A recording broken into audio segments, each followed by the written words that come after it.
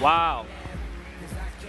Little kid growing up, only child, and people say that I was spoiled, but I, I was spoiled. I was the only one who had to do the dishes and the only one who had to mow the lawn. I got all the attention, the only one who got beatings, you know? I couldn't blame it on anybody else. Mom had in my kitchen a big can opener. It was two foot long, this can opener, and it said, Think big. I didn't get it for a while, but she said to me, Daymond, takes the same energy to think small as it does to think big, and you must think big. We're talking about goals. When I saw Russell Simmons driving around, I said, no matter what, I'm going to be part of that world. I can't rap, I can't sing. I could dance a little bit, but I don't think that's going to get me far. I'm going to be part of this hip hop world. And I was making these hats. And I said, let me go home. I went home. I thought of a name. Said, I got to think of a name who's going to be proud and worship the customer because the customer's first. All right. I thought of the name. I put it on my shirt and I put it on my hat. And I walked out that day proud with a brand new name that was going to change the world. And the name was Boo by us for us. Walking down the block, a girl that I used to date, her brother, her gay brother, came up to me and gave me the sloppiest, wettest kiss on my cheek. And said to me, Daymond, I always knew that about you. And I said, What the hell are you talking about? Oh, boo foo. Down south, boo foo me, I don't want to tell you what it meant. But it definitely wasn't by us for us.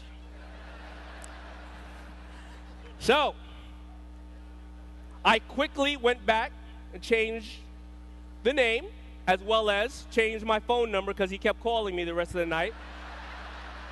And I changed the name to Fubu.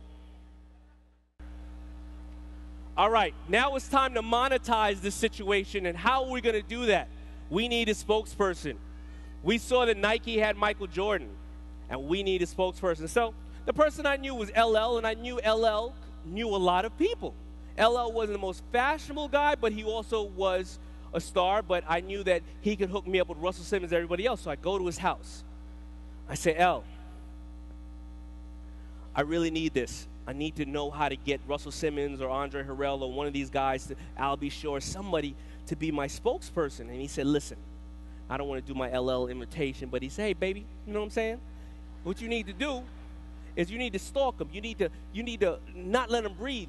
You know, show up at his door every single day and, and do whatever you got to do. And no matter what, not let him out of your sights till you push your will on theirs and overcome their resistance. I said, all right, well, how do I find him? Well, I don't know. You got to go out there and find him. I can't tell you. I can't give you their addresses. So, went home. I thought about it, and I said, well, why don't I just stalk LL? So I went to his house the next day and I set up camp on his lawn the next day. Me and my friends. I, I, I took his advice. Right? Now, LL comes out the house, and, um, you know, I knew that he had to leave for some show he was shooting called In the House um, in Los Angeles. I knew I had to get in a limousine, and we stood outside the house with cameras, and he said to me, You know what? If I take this shot, I probably will lose all my other endorsements, anything from Nike to everything else. He said, because nobody knows you, nobody knows you're ever going to get anywhere. He said, but you know what? That burning desire in your eye, I believe in you. I'm going to take the shot. And if you, anything happens, you take care of me, and we become, you know, we'll do this together. I said, I promise I will. And I took that shot. Now, that started it all for me. Again, every single goal ignited me to another goal. Now, what did I do?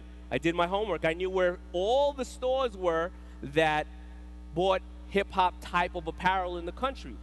There was a trade show that happened in Vegas once a year, twice a year, excuse me, and it's called the Magic Show. And I sent a picture of LL in my hat to all the stores and said, We're going to be at the Magic Show. Now, I had no way to get out to the Magic Show and no money to get into the Magic Show we wrote $300,000 worth of orders. in Vegas, five miles away, and they said it couldn't be done. $300,000. I'm on the plane counting the $300,000. Wow. Then it hit me. Ah, I got to make this crap. I don't have $300,000. Oh my God. And now, if I don't make it, the stores will never believe in me again, and all the work we've done will be over. I got back to New York. I said, no problem. I'll go get a small business loan. They give those out all day. They just hand those out like, like, you know, like lollipops. Here you go. Five banks turned me down. Now, remember, my second point is H, do your homework. I did not do my homework. Ten banks turned me down. 20 banks turned me down. I didn't even know there was more than 20 banks. But by the time I was done getting kicked in the ass out the door, it was 27 banks that turned me down. And the biggest gamble of my life had to happen at that point because I didn't have any money. So I did like somebody uneducated would do. I took a loan, a second mortgage on my home at 15% interest. And this is the most important part of being a salesperson. You are constantly selling every day. And if you think you're only selling to your friends, you're not. When you wake up in the morning and you're trying to get your son dressed, you're making a sale. Hurry up, baby, we got to get to the. Da, da. Your husband, you're trying to fight over going to the bathroom. Oh, I got to get there first because this and that. You're going up to Starbucks. Hey, can I cut the line? Can I cut? You are constantly selling yourself and you are being branded. Are you in control of the brand that's being put on you? That's the question. You have to go outside your comfort zone. Everything you want in life is right outside your comfort zone.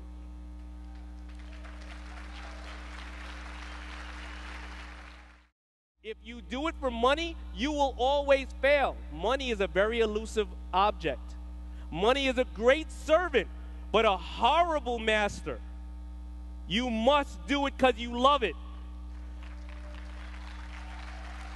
Now, we have to think what are you saying to people? They already need energy. It's the bloodline to our country, to our world. And you're saying to them, I can gain you income through energy, and you're giving it to them, and they're saving money, and you're making money. The hardest thing about business is finding a product, first of all, and finding a customer who needs it. There's already a product here, and everybody needs it. I don't understand. R. Remember that you are the brand. Remember that. You are the brand before anything else. People are investing in you, and you have to be excited about what you're doing.